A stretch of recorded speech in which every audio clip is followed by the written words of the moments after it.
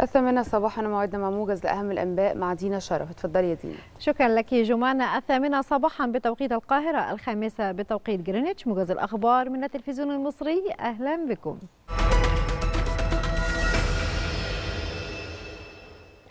قام الرئيس عبد الفتاح السيسي رئيس الجمهورية القائد الأعلى للقوات المسلحة يرافقه وزير الدفاع والإنتاج الحربي الفريق أول محمد زكي ورئيس أركان حرب القوات المسلحة الفريق أسامة عسكر بوضع إكليل من الظهور على النصب التذكاري لشهداء القوات المسلحة.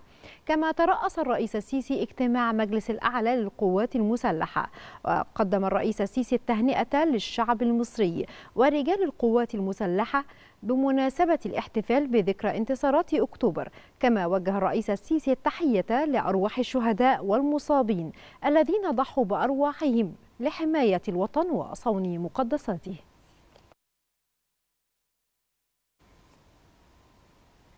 أكدت الحملة الرسمية للرئيس عبد الفتاح السيسي المرشح في الانتخابات الرئاسية 2024 أنه استجابة لدعوة المصريين في الساحات والشوارع في جميع أنحاء الجمهورية واستكمالا للمشهد الديمقراطي.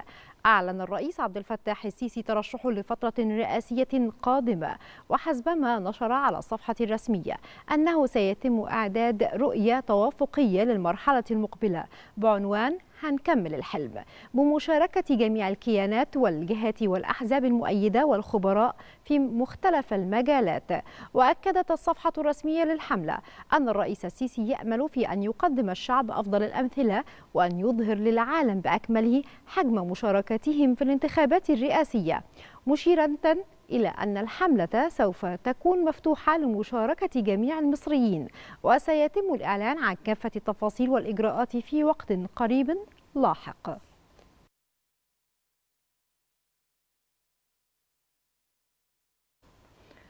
استقبل وزير الخارجية سامح شكري المستشار وليد حمزة رئيس مجلس إدارة الهيئة الوطنية للانتخابات والمستشار أحمد بن داري مدير الجهاز التنفيذي للهيئة. تناول اللقاء استعدادات وزارة الخارجية لتنظيم استحقاق الانتخابات الرئاسية 2024 للمصريين بالخارج وفقا للقواعد والضوابط والقرارات المنظمة التي تضعها الهيئة الوطنية للانتخابات. كما أكد رئيس الهيئة الوطنية للانتخابات أهمية الدور الذي ستطلع به البعثات الدبلوماسية المصرية خارج البلاد في الإشراف على تصويت المصريين في الخارج خلال الانتخابات الرئاسية المقبلة مشيرا إلى أن وزارة الخارجية حرصت على الالتزام الكامل بأحكام القانون وقرارات الهيئة التي تستهدف نزاهة الانتخابات وحماية إرادة المواطنين. أكد رئيس مجلس الوزراء مصطفى مدبولي مواصلة العمل لأن تكون هناك وفرة في مختلف السلع بالأسواق بما يسهم في انخفاض الأسعار خاصة السلع الغذائية. وخلال اجتماع لمتابعة موقف توافر السلع الغذائية في الأسواق أشار مدبولي إلى العمل بالتنسيق مع البنك المركزي على توفير المكون الدولاري المطلوب ووضع حلول تضمن انخفاض أسعار السلع الأساسية. وشهد الاجتماع استعراض مختلف جوانب مبادرة خفض الأسعار للسلع الأساسية وتم التوافق على أن يتم الإعلان الأسبوع المقبل عن كافة التفاصيل الخاصة بها.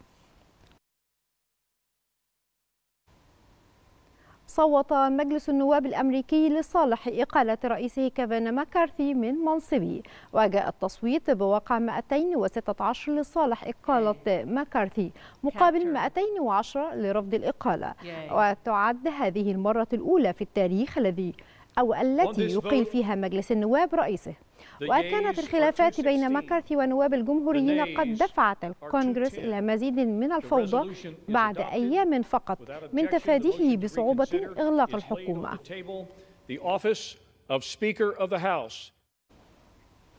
أكدت وكالة الأنباء المركزية الكورية أن كوريا الشمالية انتقدت الاستراتيجية الأمريكية الجديدة بشأن مكافحة أسلحة الدمار الشامل لوصفها الدولة المنعزلة بأنها من الدول التي تمثل تهديدا مستمرا.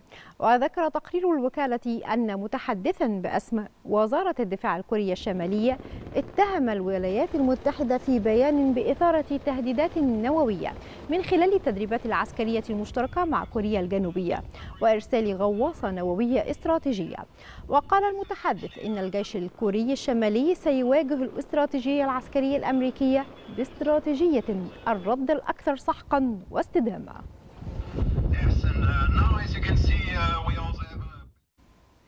ورياضيا اختتم الفريق الأول لكرة القدم بالنادي الأهلي تدريباته استعدادا لخوض مباراة إنبي ضمن منافسات بطولة كأس مصر ويلعب الأهلي مع إنبي مساء اليوم على استاد القاهرة الدولي في إطار دور نصف النهائي لكأس مصر.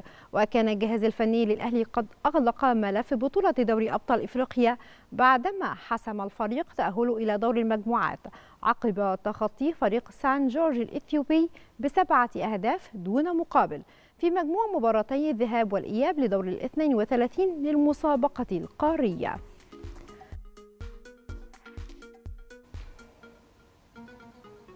ختام موجة الثامنة فاصل ونعود لحضراتكم لاستكمال باقي فقرات صباح الخير يا مصر.